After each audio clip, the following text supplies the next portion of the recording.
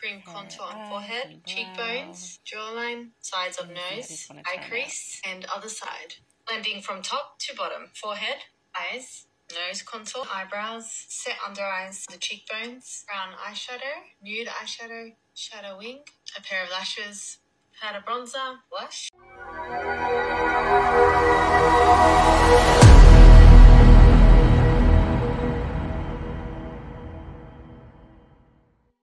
Hey guys, we are going to do another reaction video. So this is going to be TikTok's makeup tricks and hacks of 2024. So let's get into it and let's see if you can do the challenge. Right, highlight blush contour. It looks kind of disconnected and you end up oh with a very highlighty so cheek right and a lower blush. Flawless. Instead, let's do the triangle of blush highlight in the middle of the contour you get a more connected, natural, natural. lifted, glowy vibe instead of kind of a stripy oh situation oh God, on the other side. That's a new hair. No, no, no, no, okay, so no. She's applying some concealer under her exactly brow bow chin. Concealer on inner corner, concealer on outer corner, going together. And other side. Concealer below jawline, cream contour on forehead, cheekbones, jawline, sides of nose, eye crease, and other side. Blending from top to bottom. Forehead, eyes, nose contour, under eyes, cheekbones, cupid's bow, chin. Add a little bit of your foundation, blend everywhere. Some liquid blush, blend, Fill in eyebrows, set under eyes, the cheekbones, brown eyeshadow, nude eyeshadow, shadow wing, like a pair that. of lashes, really good. powder bronzer, blush. I remember I tried liner, this stick, before. And you're done. Carved top. Yeah, this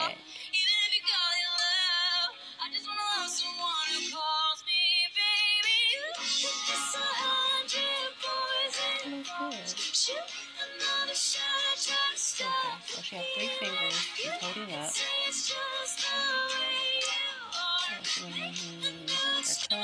Take uh, your fingers, okay? So these three right here. And you're going to place highlighter. it right there. Contour right here. The middle one, we are going to use our blush. Towards and the, the, last finger here is where the highlight goes. How it's going to look. Just like that. Start blending these all upwards. That actually looks good. I definitely would have to try that hat. Ooh, the red lipstick. I've done this one before. All over. This is genius. That looks really good on her. She killed that. The lipsticks, the lipsticks. Now, this is what I did last year of doing her.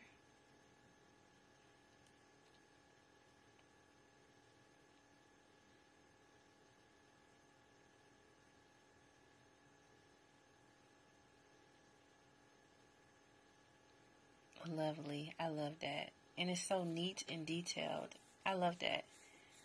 Oh, cute. I like that one.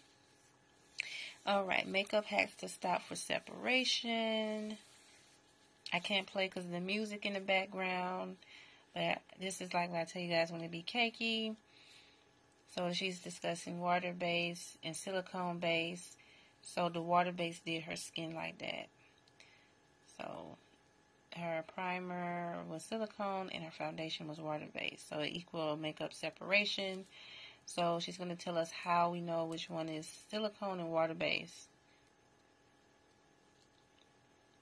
So this one here is water based because it starts with water and it don't ends with the C-O-N-E, the cone. So when they have cone or accent, those are silicone based um, foundations.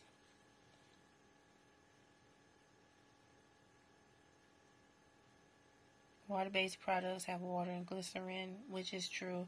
Which the beauty supply store they have mostly do, mostly all theirs are water-based, so no silicone mix.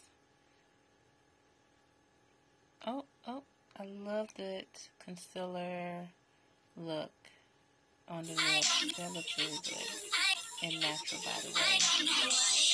Wow. I'm about to give you some new uh, lipstick. Ooh, the under eye trick. Let me see. and blend it in really good for the dark circles. That looks really good. That looks very natural. You, it's like you wouldn't even know she had dark circles. And then this one here over the color corrector. The orange the next tip is if peach concealer, like the previous example, isn't hiding your dark circles, try a pure orange color corrector. Wow. This is going to really help hide deep, stubborn dark circles that aren't covering with normal color corrector. And what I like to do is lay a concealer on top of to hide the orange color corrector, and it's going to look seamless. The next one is if you have mature skin and you find concealer settles into fine lines and wrinkles, try a hydrating formula like the one I'm using here. They tend to be thinner, they're moisturizing, which is going to be perfect for mature skin. And make sure to press them on and tap them Now that Lastly, really if you have under eye bags, this tip is going to help hide the appearance of the bags. No, so use a lighter shade in the dark part of the bag underneath, then a matching shade on top, and this is going to.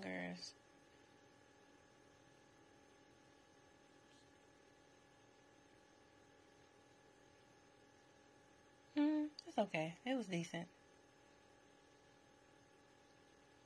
My girl, Glam with Susan. That was a cute little Q-tip trick. Oh, look at that. Oh my gosh, the perfect eyeliner. She make it so easy, like. I like that. Concealer hack.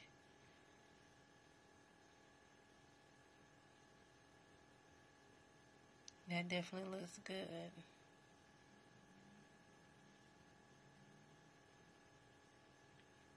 I love that. That was really good. And plain white eyeliner, black eyeliner. No. Okay, that looked cute. No, no, no, no, so no. This one here, you just have to take um, extra access. Exactly. Over applying setting powder can actually powder, accentuate texture on so your skin. So instead, when using a powder okay. puff, you want to swirl the product at the back of your hand to even it out. This will prevent the setting powder from looking patchy under your eyes and it's going to give you more of a smooth finish. After applying the powder, use a fluffy brush to remove the excess powder yeah. under your eyes to give you more of a seamless finish. You never want to use a setting powder that is the same color as your skin to set your concealer. This type of powder should be used to set your foundation using a fluffy brush. And you want to avoid the areas where you applied concealer. For concealer, use a shade that is lighter than your concealer. Again, this is going to make sure that you're not changing the color of your foundation and the color of your concealer. When using a powder puff, you want to avoid dragging the powder puff. It's going to move the concealer. So instead, you want to pat it into your skin so that the concealer doesn't move. Don't apply your setting powder before blending out Don't forget to please like, share, and subscribe, and follow your girl on um, YouTube if you want to see more makeup tips and tricks. I will see you guys in the next one. And um, let's get up to 12,000 subscribers and get them watch hours up. Thank you guys. I hope you did like my reaction makeup hacks video. If you guys want more as well before we go, please get this video up to 100 views and then we will definitely do a part two. See you guys.